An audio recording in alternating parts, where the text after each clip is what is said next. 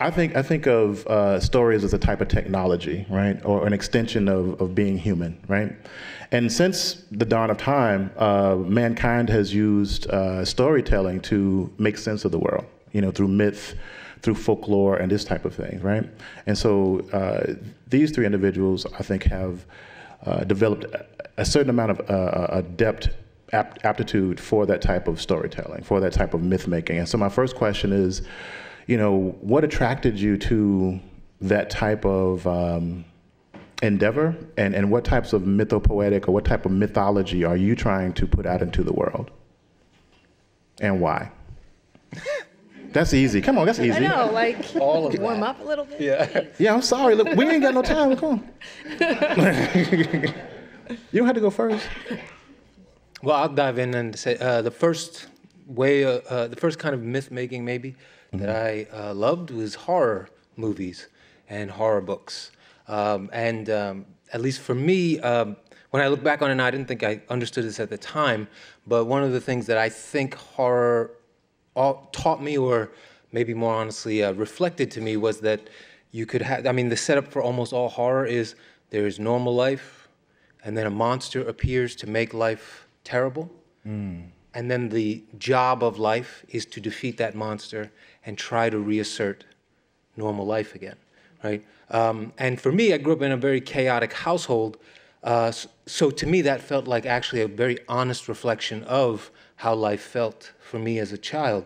I was um, drawn to horror more than almost any other of the speculative realms mm-hmm. because I felt like all the other ones, to my mind, seemed too optimistic about what life is like. Right. And horror seemed like exactly what life is like. And so, uh, and so for that reason, I, I became a horror writer kind of from then on. I don't know that I was accurate, but that's how I thought when I was 10 or 8, you know. Wonderful. Who's? Yeah, um, I don't know. I think, I think for me, what attracted me to writing these types of stories were secrets, really. Um, because for me, I started writing late. I started writing when I was 20, and I, what, what made me start writing, the, just this idea of of secrets. There were a lot of secrets that were revolving, that were always just kind of around me, mm-hmm. especially family secrets, um, especially secrets about women, and these are things that, like, I didn't know I wanted to know what those secrets were, and a lot of a lot of when, when I started writing, um, I. I was really concerned with answering and, and kind of digging into those secrets, and I found that that storytelling allowed me to one ask those questions, and two really it gave me it gave me agency to kind of dig into those secrets, to ask those questions, and and um, because a lot of times if you asked about these these secret stories that you would hear like a little bit of something and then people would be quiet and then if you asked about it a little more they'd tell you to shut up mm-hmm. you know um, I found that that being a storyteller allowed you to ask those questions without people shutting you down. So so that kind of the need to satisfy my curiosity was really where I started. Mm-hmm. So, it, so it really does function like this kind of technology or this ap- application, and I love that like, the extension of of your curiosity and oh, um, yes. the problem solving aspect. I, I love yes. that. Yeah. Matt, did you? Want yeah, and I, I just I just always like telling stories for their own right. I mean, I've been doing this for as long as I can remember, and I was fortunate enough to have parents who encouraged me and, and wanted me to do it. And um, I'm all over the map in terms of genre because I figure Which if you're going to make stuff up, yeah. Y- y- why limit yourself yes. to just literary fiction or just straightforward stuff? And the constant theme for me, like my mother, um, my, my grandfather on my mother's side was a missionary from St. Louis who went mm-hmm. down to Brazil and stayed in South America. So my mother was born in the Brazilian jungle and grew up in Argentina during the Perón administration and didn't get in the US until she was 23. And our house became Ellis Island for all of the Brazilian and Uruguayan and Argentinian relatives coming up. So I kind of grew up in this multicultural theological debate society where I was surrounded by people who saw things very differently than I did, and and we're not going to change, and you know you're not allowed to kill each other. You just got to have your fights and get along. And so, the one sort of common thread through all my writing is I like telling stories about people from different points of view or different worldviews being forced to interact with each other in a way that doesn't allow for any easy outs. And I also just like telling stories about people who aren't like me and trying to do psychologically realistic portraits of them. So that's sort of what this has allowed me to do. And then I like on top of that to just be able to talk about, you know, vampires and whatever. right. So. Vampires, and I love the vampires and whatever. I'm, a, I'm, a massive fan of horror as well, and uh, you know, for very similar, actually very similar reasons as you, Victor. Um, so I was thinking about this actually as you guys were speaking. So there's obviously been this, uh, I don't know, resurgence of, of what people call Afrofuturism, right? Um, we like to call it black speculative culture or you know black speculative cultural production. What are some of the things you think um, have kind of caused this this really uh, intense interest in um, fantasy, science fiction, horror that's that, that's basically kind of off the beaten track as far as like the mainstream or dealing with people of color's uh, day-to-day lives, but in a speculative fashion. Do you, you have any uh, comments about what do you think uh, is going on with this uh, resurgence or this renaissance of black speculative culture? I just made that one. I, I wouldn't. I, no, I just thought. I just thought about it when I, when you was, were talking. I'm sorry. I, you know you know, take your time. Well, I, I think that um, I think that the that the interest has all the, the interest and the need to hear those stories has always been there, mm. always been there.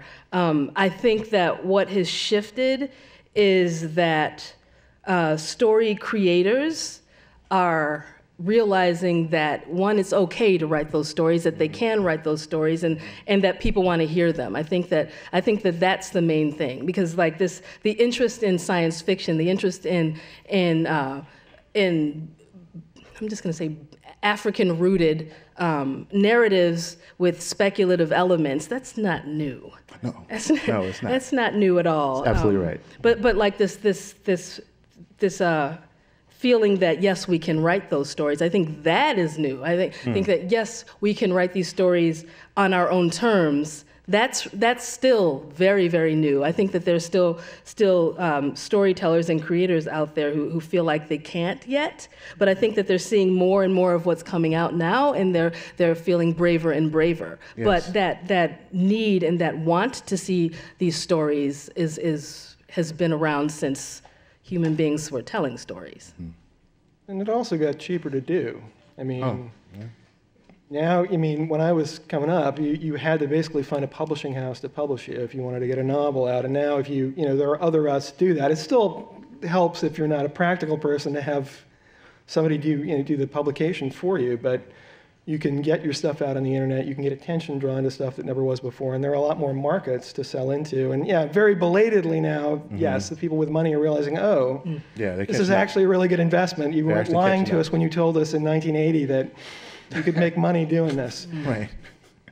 Well, I, I, think um, uh, maybe there's also just the reality of the enough gen- the, all that technology that allows a lot freer access or ability for people to communicate their desire for these stories, mm-hmm. and then just generations of people like uh, you know that that scene in uh, World War Z mm. when the zombies are at the wall and they just start piling up and piling up and piling right, right, right, well, we're the zombies, and we breach the wall.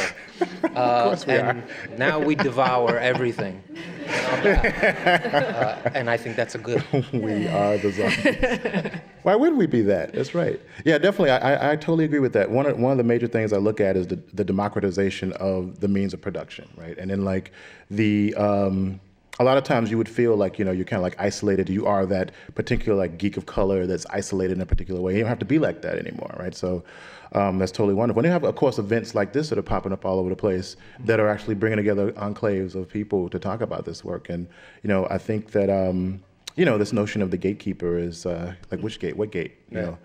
Um, so you talked a little bit about scenes. It popped in my head. So, um, you know, as a creator, I always have like small uh, nuggets of things and stories that I create that I, I love um, or, or I, that I really feel proud of. Can, can, you talk about an instance in one of your, your stories that you feel really uh, resonated with you as a writer, as a creator, that you felt was like that perfect nugget, that when someone read it, that they would resonate with it? I just came with that one too. It just popped in my head. Sorry. While I was talking with you. I'm not, that's, I, what I like about that question is it's a great trap yes, it is. to make it seem like, oh, so they're just gonna sit up there and talk about how they're great, like how they came up with great things and they knew it in the moment. Uh, and that's my answer is just turning it back on you. Oh, what? what was one of my favorite things? Don't be doing that. No. You're like anti-moderating.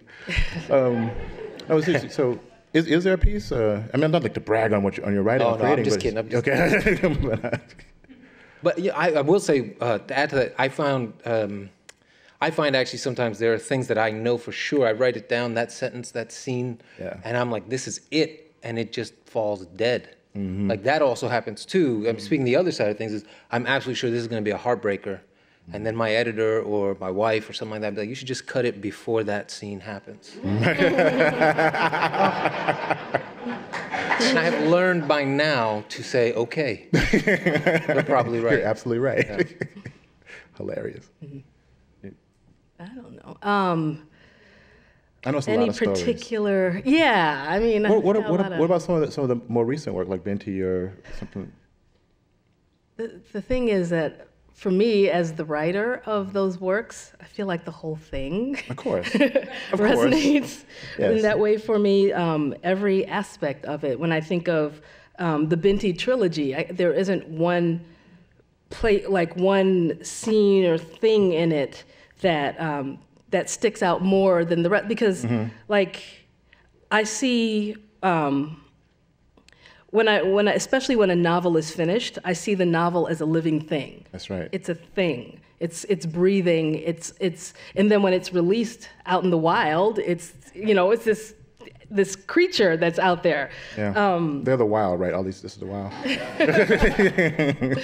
But but so so it's like it's like pointing to you know you take a human being and pointing to the, a human being's lung and saying oh this is the most valuable part of that human being. Good point. Um, so yeah so so I can't really. you're not gonna answer the you can't question. yeah you can't really take a part of it without without it being connected to another part of it. So it's a hard.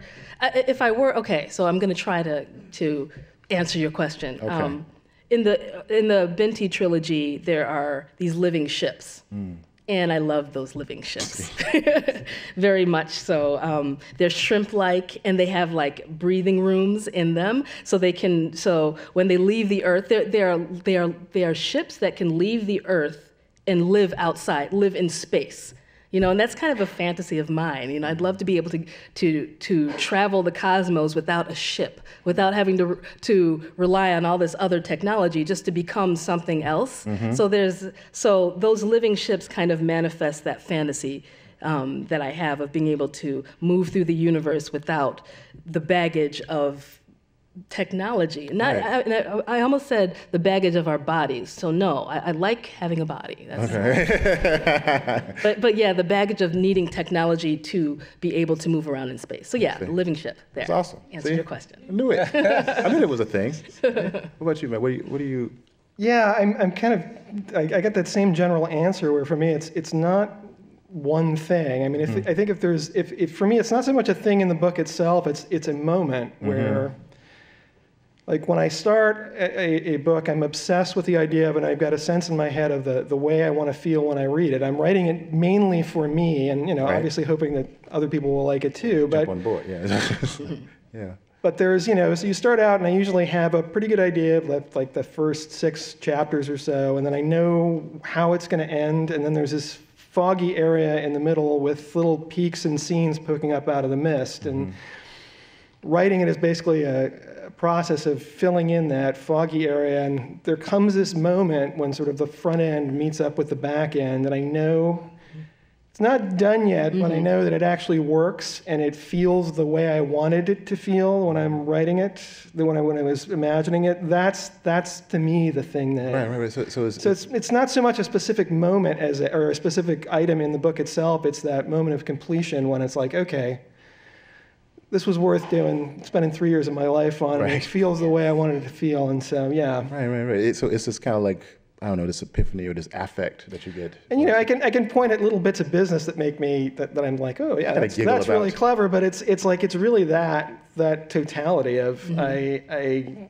I get it. Yeah, yeah, it's, it definitely is. It's a, it's a, it's a composition, and it has life, and I, I love that aspect as well. I was, um, for a second, when you said The Mist, I geeked out. I thought about the Stephen King movie Oh, right yeah. quick. Sorry, I couldn't stop myself. It was like, oh, it's gonna, anyway.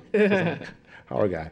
Um, so, you, so Nnedi, I love, I love your analogy of the, um, the story being a, a person or an entity. You know, that's kind of how I, I definitely think about the work that I make, and you know, um, yeah. So, so it is like creating life or giving birth or, or, or, or making this new living thing. So you all um, have, have, have been fortunate enough, I guess, fortunate, I suppose, to, to have your work uh, be optioned to be turned into different types of mediations, right? So how does it feel to actually take, um, for someone to take something that you've spent all this time on and that you've cultivated, that you've edited and edited and stayed with and been obsessed with for so long and actually put out into the wild, as you said, and then have someone uh, uh, say, hey, you know what? Let's take this entity and let's let's make it maybe even wild, wilder, or let's let's change it, let's adapt it. You know, how do you um, what does that feel like, and, and what are some of the process that you go through when you're dealing with that kind of situation? Which is wonderful. I'm excited about the properties that, that will be created from your stories. You know, and, and, and congratulations on that. But I know that it has to be some type of emotional connection or some type of maybe disruption of some kind that, that, that happens when that when that transpires. So, what do you think? Well, I, um, so me, I have um, two things. One thing that I'm adapting myself, and uh, that's been a process of learning to not uh, care about the book so much. Like the book is the book, Right. and the the the say for TV, the show is the show, and the two things can't be the same. Uh, but on the uh, for the other project, it's somebody else who's going to be doing that work, and um, I would say what was fortunate was in the first conversation we had before we went through with things. Uh, I got to talk with them about what they were thinking, and it was really nothing I would do. Uh, and but they had good reasons why they were doing it. Right. You know. Yeah. And I felt like okay, you know, maybe as a writer or maybe as a oldest child or I don't know what the reason is. Uh, I'm a very controlling person, uh, but I need to learn to let go of that and trust that there are other smart, talented people on this earth mm-hmm. who can do something new with what the kernel was. Right. And so I think that degree of like sort of humility about it mm-hmm. helped a lot to let that go. And I'm kind of excited for like I can't wait to see what you do. No, seriously, yeah. I mean, the collaborative process is, is super exciting. Yeah. And scary. And scary. Um, yeah, I've got um, I've got a few things that have been optioned, and um, and so I have Who Fears Death was optioned by HBO, and then I have the the short story um, Hello Moto that that has been made into a short film um, called Hello Rain, and there are some other things that I can't announce yet, um, but. Um, it's for me it's it's a it's been a really interesting experience. And like i'm not the type of writer who holds on to my stories very tightly. You know um, i just feel I, I feel like they are they are they are proud and strong in themselves. So so i feel like they'll survive out in the world. Um, that said there are there's a difference at least for me in my experience there's a difference between tv and film. Right. film for for a novelist watching your your your novel turned into a film or made into a film or adapted into a film is a painful thing. A very very painful thing. Um, one that i'm very just i'm very, very weary of. Okay. um, so, so we'll we'll leave that alone. TV, on the other hand, I think I like more because, um, and, and it's not like I said, I'm not really, I don't hold on closely to the story. I, I'm very, I'm always very interested in seeing what all these other brilliant creators with different skill sets and ideas and visions have for what I've created. I'm really interested in that, um, and, and I'm, I also remain deeply involved too because I just feel like some things need to be. Um, you, there- you let things go, but some things need to you need to have some control over some things, and that's important to me. Right. But with TV, what I love about TV is that a novel will stretch out. Mm-hmm. You know, and sometimes the TV show will go beyond the novel, and then you get to see w- what more of the story there is, and I find that very exciting. And, and then, and then a lot of times with um, TV series, they can take just small scenes in the novel that you didn't get to explore, and you might get to see like that little part expand into something more. So I, I just I find the whole thing very exciting. Um, I find all kinds of writing learning experiences. Yes. And I and I'm always interested in learning, and that's that like um, you, you, mentioned humility. Um, there's a humility that writers should come at things with, where you don't know everything. You should be aware that you don't know everything, and when you come at things in that way, you learn a lot more. Right. So I, I'm, I'm I'm very willing to let people tell me things um, that I don't know, mm-hmm. and I'm willing to hear hear that. And so so that can be easily said for um, dealing with my stories being optioned, and and I don't know everything, right. and and I'm I'm very open to listening because every time I listen. I learn something new. I learned something new about how to tell stories for this medium, right. which is very visual, which is very different from novel writing. So it's, it's all been a great learning experience. And I think that's the most valuable part for me. Excellent, excellent. Um, and so, yeah, I've got three things in play actually. Mm-hmm. Um, Bad Monkeys has been optioned for Margot Robbie, and um, Set This House in Order has been optioned as an opera by Nico Muhly. What? I did not know about. Okay. um, I mean, but it, the thing is with opera, the, the lead time is even longer than with film. So I'll be, I may be much older by the time it actually sees the light of day. But I'm, I'm kind of psyched about that. And then, um, awesome. um, and then the big, the big one is, is Lovecraft Country is being done by Jordan Peele and Misha Green for HBO. That's right. Um, and I told you they don't. Anyway, that was a weird thing. I mean, the, the, the, novel started out as an unsuccessful TV pitch back in 2007. I, I couldn't get the people I was talking to interested in the idea of doing, you know, the X Files with a, a black family in Chicago in 1954. And so right. I figured out a way to do it as a novel, always thinking in the back of my head that if, if this works, maybe it'll be proof of concept that no, really, this could be a good story. Mm-hmm. And uh, for once, my timing was just right. I'm sorry. I'm sorry. But some people's aren't. What, what is that? what is that? flight. On, man? that was for was my like, flight.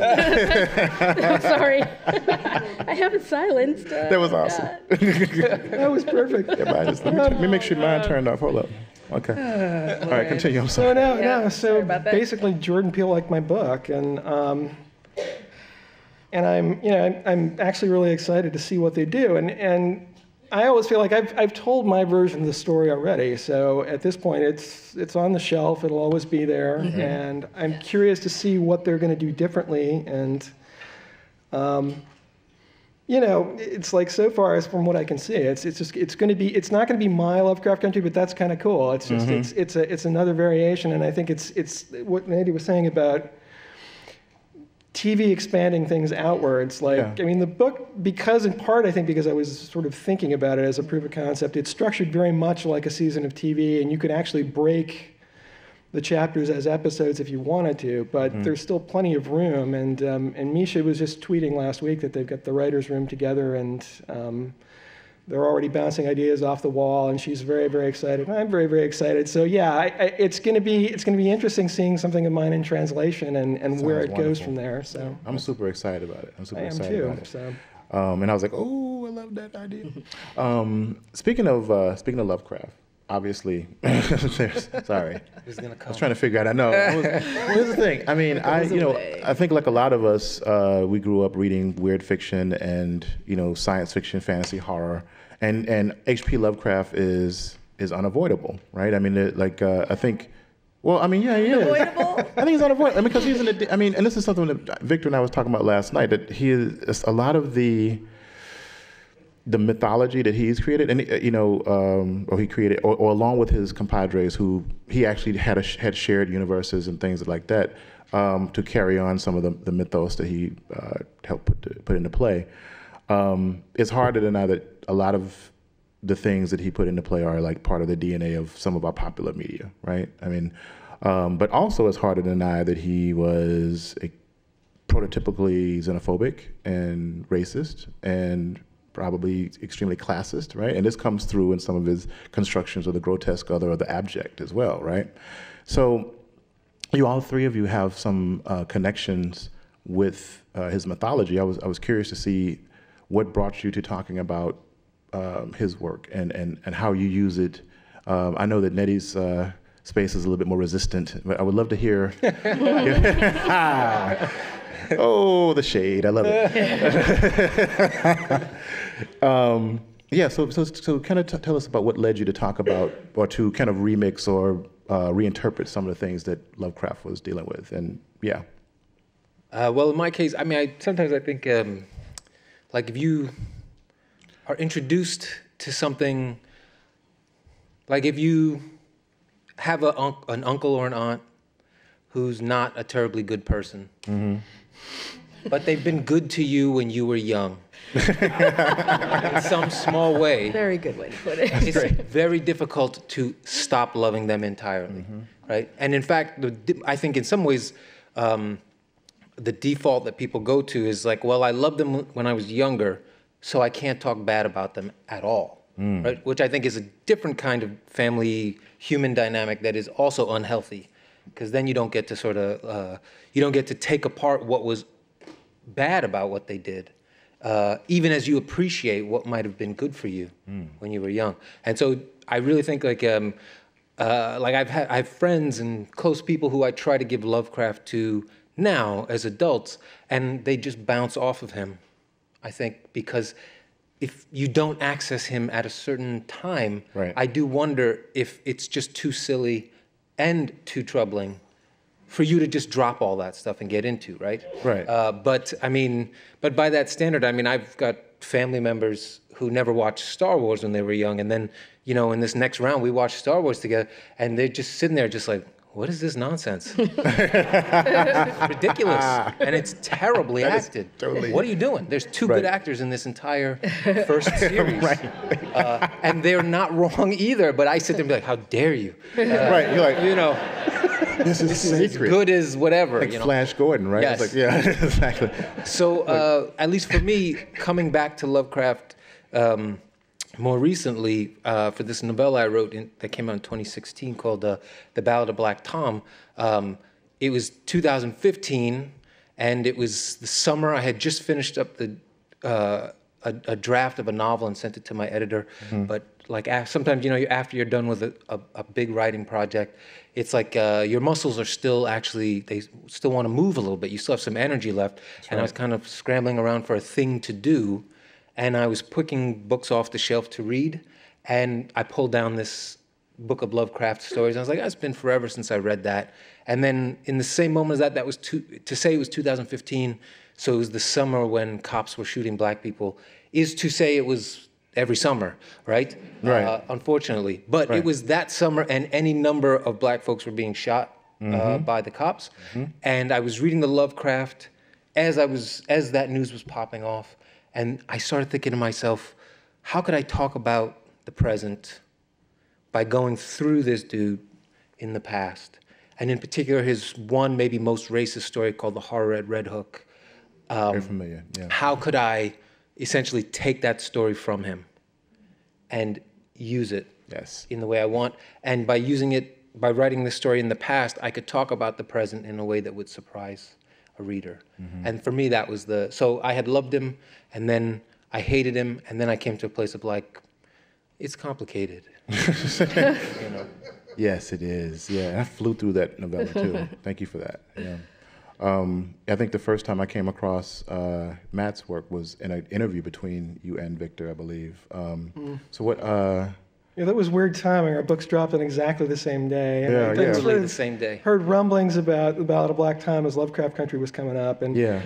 I kind of backed into the Lovecraft theme with that because, again, my point of entry originally was the X Files, and, mm-hmm. and the question you have to answer if you're going to have a, a show about people having recurring paranormal adventures is what's special about these folks that they're encountering monsters every week, mm-hmm, and. Mm-hmm my my answer for this was that it was a it's a black family owned a travel agency in Chicago in 1954, and the agency publishes a fictional version of the Green Book called yes. The Safe Negro Travel Guide. Right. And my Fox Mulder character is the son of the family, Atticus Turner, who's a field researcher for the guide whose job is to drive around the country looking for hotels and restaurants that will take him in. Mm-hmm.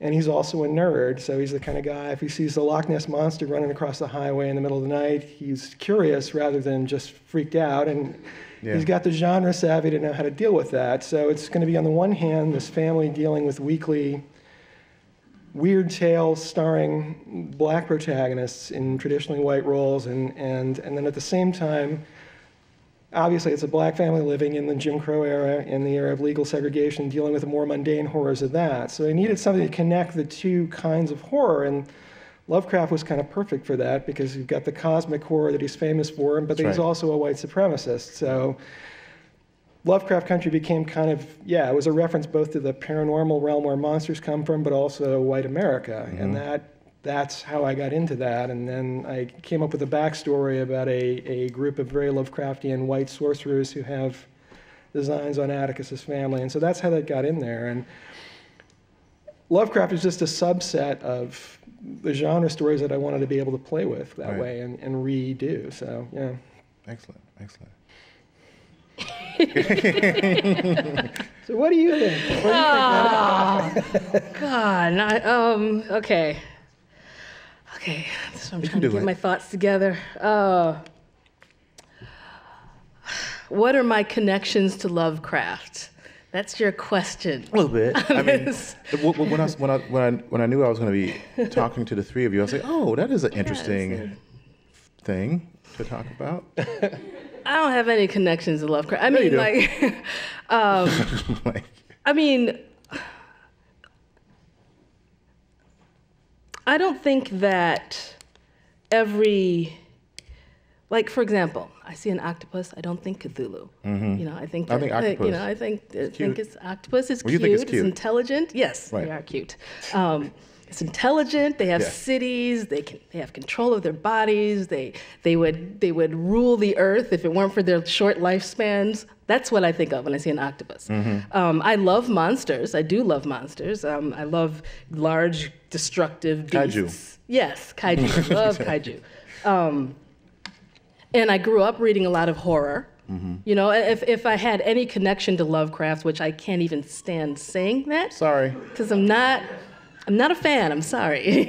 I think we're clear on that. and that's an understatement of me not being a fan. But um well, well I used the word connection loosely. I was talking about yeah. just the but I'm hoping that you will talk about because I think it was a resistant space. So yeah. Okay, I'm sorry. Um, I'll, I'll, shut up. But but I, I, grew I grew up reading a lot of horror. Mm-hmm. I will mm-hmm. say that you know, and so so if any of Lovecraft's DNA, which is a horrible thought, but if any of Lovecraft's DNA were literary DNA were in my work, it would yeah. be through the horror that I grew up reading because like in my teens, for some reason, I was obsessed with horror. Mm-hmm. Like I, I, read it like just I was just consuming it like candy. I love candy, and, and, so I was I was reading um, Clive Barker. Yes. I was reading Robert McCammon. I was reading a lot of Stephen King. Just mm. consuming all of that, and and all of those authors are highly influenced by yeah. Lovecraft. So so if I if I had any connection, it would be um, it would be in that through that through that route, but. Mm-hmm. I don't know. I just broadly about your about the World Fantasy Award too. Oh, that. Yes. Yeah, that's what I was uh, kind of. Yeah, the World Fantasy Award. Um, do I have to tell that no, yeah, story? You know what? Maybe not. You know, if you don't feel comfortable, we can. Yeah, uh, uh, yeah. Okay. I'm a, moderate, I, am a moderate moderator. I will. I will.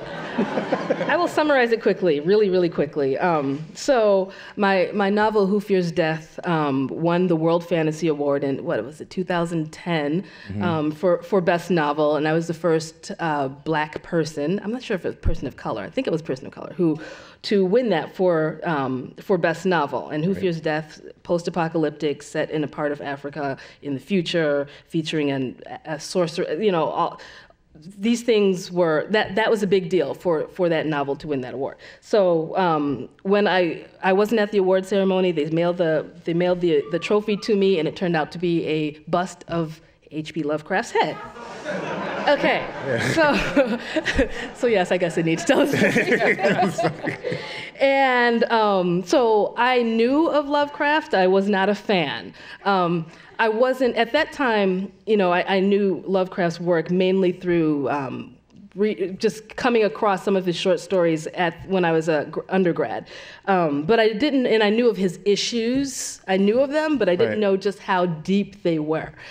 And so um, I had this, I, I had this trophy, and I, and I was proud of it. I'm like, oh yay, this is my trophy, but it's Lovecraft said, but look, it's my trophy, and and okay, and and I, I was showing it off to my ex-husband, like, look at my trophy, and he's a poet, and he looked at it, and he's like, wait a minute. Is that H.P. Lovecraft? And I'm like, yes. And he's like, let me show you something. And so he took me to the internet and showed me Lovecraft's poem, which was called The Creation of the Nigger. And, and so, like, when I saw that poem, his issues, the depth of his issues really kind of became clear to me. And the, the, pro, the, the, this trophy being the award that I was given for this novel became very clear. And it was one of those moments where, you know, when you don't want to be that black person?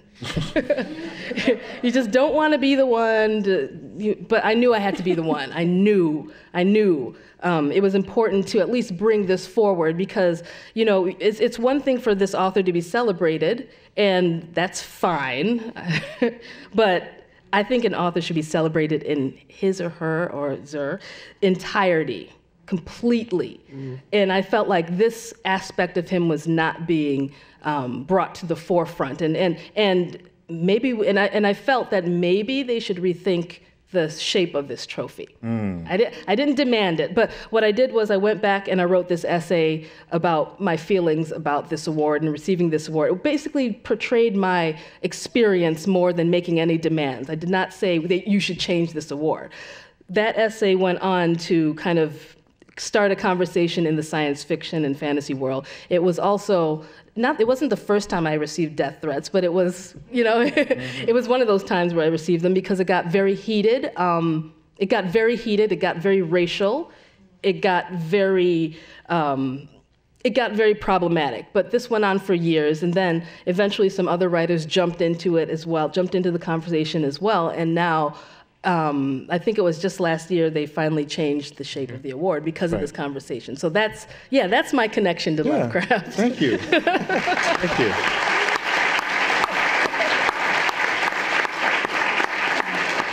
Right. And, and all of those stories, like, that's an extremely important story, particularly in this space when we're talking about, you know, um, dealing with this idea of symbolic annihilation, where you erase someone's story or to remix people's stories. I think is extremely important. And again, I'm, I'm, I'm very honored to be on a stage with, with three brave souls who make their own mythology and who are, I think, in some ways, you know, uh, turning out these wild tales to uh, to excite us and to to have us uh, to empower us to go out there and fight the good fight. So I really thank you uh, for this opportunity. I'm extremely honored. Um, so I am going to open up I, I, two questions. That's all we got time for. Is that cool? Two. Do two. Uh, yes, please. Yeah, yeah. No, I'm. You're first. Yeah. Hi, okay, my name's Dee Dee. Um, and my question is for all of you. I always like to ask fellow writers this. Um, what's your writing process? Like, do you write every day? Um, do you sometimes go large chunks of time not writing? Um, where do you get ideas from? That's a lot of questions, but like, like, what's your writing process? How do you get from idea to published? I. That's a really complex question. Yeah. So maybe one question. Sorry. That's difficult. Well, I, I, I'm a big believer in uh, routine, uh, whatever that routine might be. But uh, so, just to quickly say, uh, my wife and I have two kids. Before we had the kids, I could spend six hours writing and produce maybe a paragraph of work. And I would say it was because I'm, I'm so precise and I'm so careful. And it's also because I would listen to some music and I say, you know, I need some inspiration. I'm going to watch a half hour of a movie. And I'm a this, this, and this, you know, like that. It's- yeah, and uh, eat a sandwich, that's right. And, uh, you know, the bed should be made, uh, whatever. Uh, and so then uh, our first child was born, our son. And uh, my wife is a writer as well, which means we are both teachers. Um, and uh, and uh, so uh, he- was born at the end of May, uh, so we had a little bit of summer uh, off. And uh, she said, like, look, what I think we need to do, each of us get two hours out of the house away from this wonderful but draining human. Yes? Um, and so my normal routine would have been to go, I'll go downtown, all this and this, but now I only have two hours, and I know that two hours is going to be enforced. Yes? So I found a Dunkin' Donuts around the corner from where we live, right? And there was a bathroom in the bus station next door, so I was set. Yeah? Uh, and I sat down for that two hours and I worked, and it was very difficult uh, to get myself going. What am I going to write about? Blah, blah, blah. But I found after about three months of that, in that two hours, I would, without fail, produce much more than I ever used to produce in six. Yeah? And it was because I was absolutely concentrated in that time put my phone down, nothing else. Mm-hmm. Now, uh, and as a result, now my writing routine is just I write from 10 to 12, five days a week and when we're, we have breaks, three days a week when I'm teaching, when school is on. Um, and that's all I do. As soon as it, from 10, as soon as it hits noon, I stop. I'm done for the day. I might do some reading. I might do this and that, but I've done my writing. Uh, and the only thing I want to throw out there, though, is I've, I've, I feel like I've talked about that in the past, and sometimes people uh, my wife and I sometimes when we have a fight, after the fight has sort of dissipated, we'll sit down at the dinner table and we'll say, now to each of us, what did you hear me say versus what we I think I said, mm-hmm. right? So I like to say, I am not telling anyone you have to write for two hours a day, you have to do this and this, you have to produce 500 words. I'm not in any way suggesting some concrete rule. I'm only saying that I think many human beings thrive on a certain routine, especially if you're going to produce work. And so the whole point of my my little thing that I just said is just I found a routine that works for me. Your life will probably you if you can find a routine that works for you and stick with it, you will produce in the manner you need to produce and over time you will accumulate pages uh, and so for me, just as a writer, just the last thing I would say is like for the, in that two hours, say on average, I produced three pages in that day, maybe, right? At the end of a week, that's 15 pages. In a month, that's 60 pages. At the end of a year, that's 720 pages. 500 of it is garbage. It doesn't matter. You have to write through that garbage. But mm-hmm. for me, producing those pages in that routine way is the way that I keep myself from waiting three years to produce 720 pages, right. and 500 of it is still garbage. That's the thing that never goes away. So, uh, so the routine helps me to clear out the colon of my right. I'm sorry. it went too far. I went too far. I'm sorry. What the? I'm sorry. that was great. um, I, my writing routine, and, and that was really good. You, you've made my, my job a lot easier. a lot of things I don't have to say now. Um, uh, my writing routine has changed over time. When I first started, I was very organized. I also, yeah, I didn't have my, my daughter, and I could write the whole day, you know, I, and I was writing every day. Um, but that was because I wanted to. It wasn't because I felt I had to. I, I, I also don't believe in that, that adage, even though Stephen King says we should. Um, I, I don't think you have to write every day. I think you do what works for you, and that's very specific to you as an individual. Also, um, know that just because you do something as a routine and, and as a habit doesn't mean it's the right the right habit for you. Right. So you have to know when to switch it up. So so that said, um, yeah, when I started off, I would always I'd have to write in a I had to be in a white room just had to have white walls, um, where there's a window, yes. Uh, and I, I, had to write a certain number of hours. Like I was, I would sit and I would literally write for many, many hours at a time. Um, that was before I had a lot of responsibilities. Now, uh, my writing routine, I can, I can describe it in two words: organized chaos. It's, it's, it's like I can't exactly tell you how I do it, but I know I do it. You know, I wrote the the Binti, the first Binti novella that I wrote. I wrote it in airports. I wrote it on the airplane. I wrote it while on the move. Mm. You know, and I've learned like because I have a very busy schedule where I could be in like three different countries within the month, and I still have deadlines, and I still and not even the deadlines. The deadlines aren't even the problem. It's it's more it's what's in my head. Like if I have to write something, I have to write it. So even if there is just complete madness around me, I will write that story. And that's but, but that's something that I've learned to do and that I've kind of become I've become that over the years. Like the way I started off is very different than the way I am now. I've written a lot of novels. So so a lot of um, a lot of what I, I guess would be routine would be just it's like something that I don't think about anymore. It's something that just it's just a part of me. Awesome. So so when I say that I just do it, it's that routine that I don't even have a name for that I can't quite put my foot on that has developed over the years because I've maintained, I, when I started my PhD, for example, I, I, started with several other students. We were all writers. By the time that, by the time we all finished, I was the only one left standing. Mm. You know, and, and, it's because when I first started that PhD, because that PhD really, oh, it tries to beat the creative, the creativity out of you.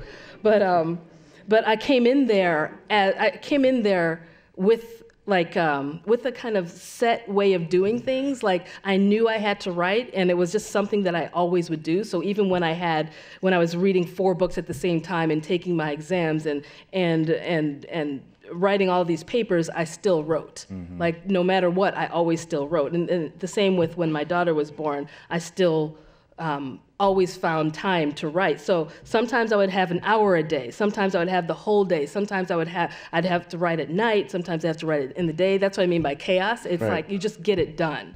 So yeah. yeah, I, I mean they, they, they, they, both pretty much covered what I would say in terms of. I'm sorry. No, discipline is really important for me too because if I if I don't do it every day, it's just so easy to to you know, I, if I'm going to take a break from writing, I'll take a break from writing. But if mm-hmm. I want to get stuff done, I really do need to make myself work every day. And I, I guess the only thing I would add is that that wanting the finished product badly enough really helps. If you're, you know, and that want can come from I need to pay the bills, I need to meet this deadline, so I don't embarrass myself in front of my publishing house, or it can just be, right. if I don't write this book now, it's never going to happen. And when I think back to my own experience at Cornell, there were plenty of other people in the English department who were, you know, interested in writing, and I think the main reason they, they may have been as talented as I was, but mm-hmm. the difference was that this was always what I wanted to do and what I wanted mm-hmm. to be, and and you know, I, I I took the least labor-intensive way to to get it done when I when I had a choice, but I was always there was always something back in the back of my head when I started to get too lazy, saying, "No, you've really got to get moving on this if this is what you want to do with your life." And I think just some of the other folks just didn't have that, mm-hmm. and that was the difference. So if you can find a way to want it badly enough and, and to push yourself to to go for it, you know, and, and that's why you should always don't let somebody else tell you what story you should be writing. Mm-hmm. Write the story you most want to tell that nobody else is going to do if you do it, and that's probably the best way, a positive way to make yourself sit down and, and get it done. Excellent. Excellent. You know what? I'm, i lied. I'm sorry. I'm sorry. We don't have time for another question. I'm so sorry. I'm sorry, brother. Uh, it's just that I didn't expect that Dee would be. Yeah. So here's the thing, though. Here's the thing. Uh, our authors are about to go and do a signing in the, the um, in the adjacent room, in the Latino Hispanic room, and you can hold your questions till then. I'm, eh, so now I'm not a moderate moderator. I got to cut it off because we have another panel. So my apologies for lying to you. It was Dee Dee's fault. I'm just kidding. No, it's not. Thank you so much. Thank you so much. Y'all wonderful. Thank you.